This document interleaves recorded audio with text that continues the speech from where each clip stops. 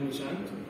I completed my engineering from Don Bosco Institute of Technology with an aggregate of 65% and I passed in the year 2020.